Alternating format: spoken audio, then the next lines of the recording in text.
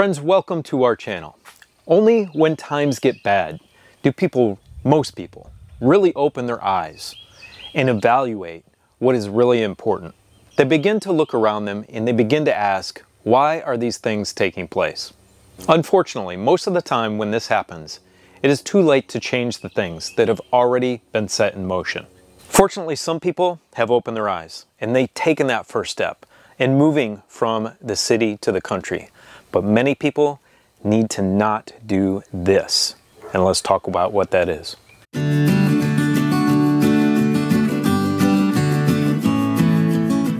That one thing is stopping actively searching for the truth. That is the only way that you're going to open your eyes, is to be constantly seeking what the truth is every single day in pretty much every subject that is surrounding you.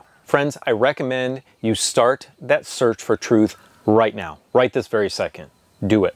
So many people are lulled to sleep by bread and circuses. Please do not get caught up in any of that now. It is too late.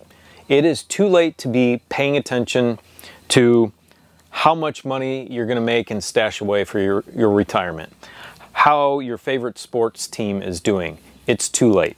Stop trying to acquire things just to acquire things or pursuing, you know, six figures or seven figures or whatever it is.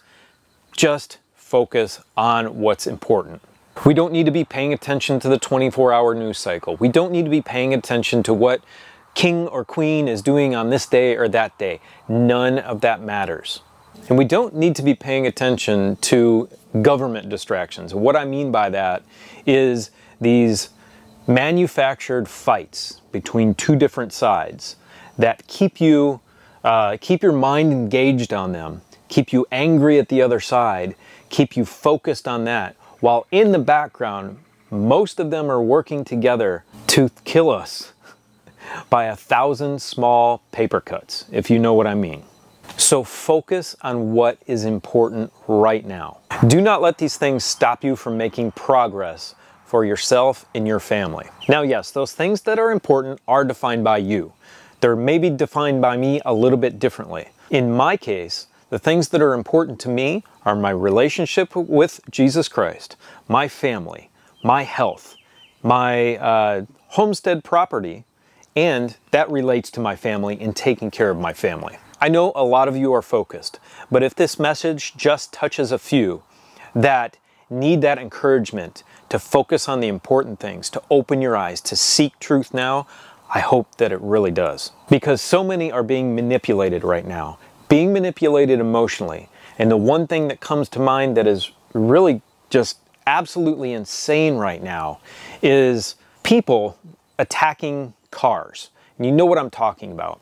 People scratching up the exterior paint jobs of Teslas just because they don't like a certain person Elon Musk. I'm certain some of those are paid agitators, but for those that aren't, for those that are getting caught on camera every single solitary day doing this, you are doing it to people that are probably politically aligned with you. And you're not hurting Elon Musk in one tiny little bit. It is completely illogical and irrational to do so.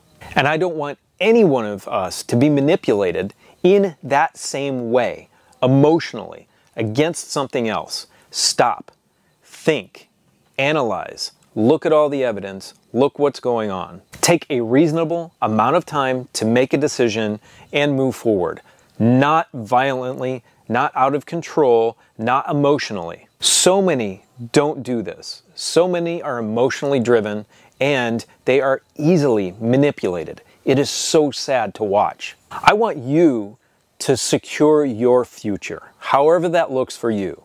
Whether it's having a decent amount of finances so that you can live off grid and not have to worry about things, if it's you know, strengthening your relationship with Jesus, or whatever that looks like, growing 10 acres of food and helping out your local food pantry. That's awesome focus on those things. Focus on family. Focus on helping others. Focus on your eternal life. Focus on building that framework of safety around you. And focus on building a safe haven for your family. Friends, if you think you're going to be changing much by voting for the next guy, I got to tell you, most of those people have been put in place to be in places of power, and that has been set in motion for hundreds of years, for even maybe thousands of years. There are many things that are going on in the background right now that nobody knows about, only a few. And it is to our detriment. Luckily, in this country, we set up a framework to stave off the elitists for a few hundred years. But their plan has been in motion for so long that it is overwhelming us now. Friends, they keep drumming up the same things over and over and over again to keep all of us at each other's throats and to keep our focus off of them, but on each other. This is always the plan while they implement those thousand paper cuts in the background. We have to seek truth, secure our family, secure our eternal life, and that's what we need to focus on. Most importantly, for my Christian friends, you cannot fall asleep at the wheel. So much evil has crept into Christian churches that God does not recognize them anymore. They completely diverge from His Word. They stray so far from Him and His Word. And the Word was with God and the Word was God, right? They stray so far from that, they inject their own truth into uh, sermons and into, they're not even sermons anymore. They're just talks about prosperity and things that are extra biblical, that are just not even there. Christian friends, this is what I'm talking about when I say pay attention. Uh, I came back to the church uh, after leaving the church when I was young. I came back to God by the Holy Spirit's leading, and it was through an NIV Bible, or New International Version. Now, that Bible did provide me a lot of good base because it is God's Word, but man has even manipulated that. And I found that out later. I found out that there's almost 1,000 verses that are completely deleted from the received text. They're deleted from the NIV. Many of those texts have to do with the divinity of Jesus. Don't take my word for it. Go and look, and you will see sometimes, like Matthew 18 11, it does not exist in the NIV. It skips from 10 to 12, just completely omits it, and even takes out the number. It doesn't even shift the numbers of the verses.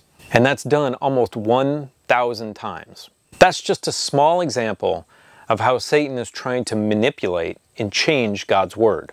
But God's Word has been changed in churches, and that is something you have to pay attention to. You have to study while you're listening to a pastor. You have to study while listening to leaders of a certain denomination.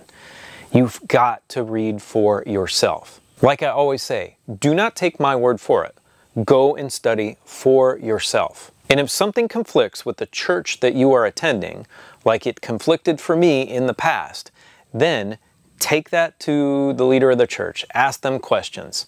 Study it out with them and point them to God's Word. Because you and I were given God's Word for a purpose. It is not for just the leaders of the churches to read. And then those leaders of the churches decipher that information and then pass it down to you and I. God gives you His Word straight. He'll lead people to truth through different means, absolutely. But you need to constantly be seeking that truth. Look, many of us went to school, we studied, we had tests, right? There's a big test coming, the biggest test you'll ever have, and that is for your eternal life. That test is ongoing for us every single solitary day. Yes, Christ died for our sins once for all, and we can reject that gift He has given us. And if we reject it, the Bible tells us how we reject it, and that's by not following His commandments. There is not one tiny shred of legalism in that because the Bible mentions hundreds of times if you love me, keep my commandments. The all powerful creator of the entire universe, who's always been creating, who always will create. The foundation of his government are those commandments, and they are based solely in love love of God and love of your fellow man. That's the first four commandments love for God, and the last six commandments love for man. If I love God as He loved me, I will obey His commandments because I love Him. Not because I just need to check them off on a checklist. It's honestly, truly because He loved me first and because I love Him. Through His Word, He asks me to do that. Through and Jesus Christ and with the guidance and help of the Holy Spirit. I can turn this into an hour long Bible study. Maybe if you want to hear that someday, we can do that. But, friends, the basic message of this video is to focus on what's important. Don't get distracted and seek truth constantly.